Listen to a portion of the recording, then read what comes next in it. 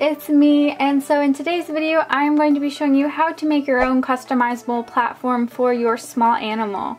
So the first thing you are going to need is some wood. I got mine from Michaels the craft store. They have pre-cut pieces of wood that are perfect sizes for making platforms and they have a bunch of different cool shapes and sizes so you can honestly go crazy in there and pick whatever sizes and shapes you want.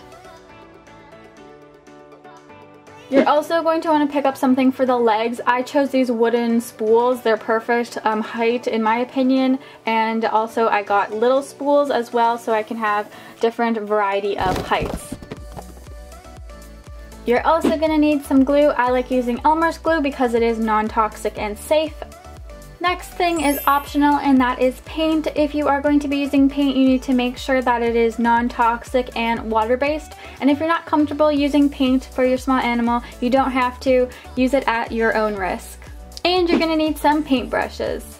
So the first thing I did was start off by figuring out how I wanted it and then I started to glue on the legs. Now when you're using Elmer's glue, it glues super good. Of course, you're gonna need to let it dry for at least 30 minutes every single time you glue something on, but this glue really holds it.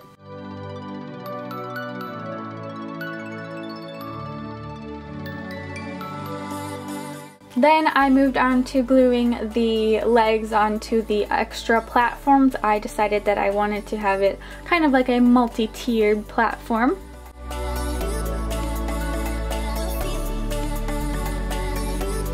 And a tip to make sure it glues nice and secure, I recommend putting something heavy such as a pumpkin or something of the sort on top so that it can weigh it down.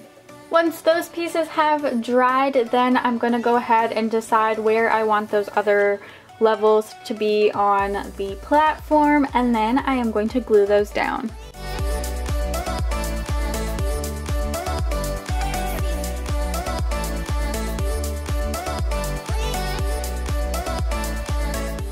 And then we have the fun part and that is painting the whole thing. The best part about this type of platform is you can make it totally customizable to you and your hamster.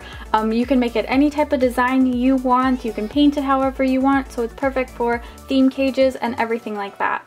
I'm also going to go a little extra and put on some stars so I'm going to paint those yellow and then I'm going to attach them to my platform.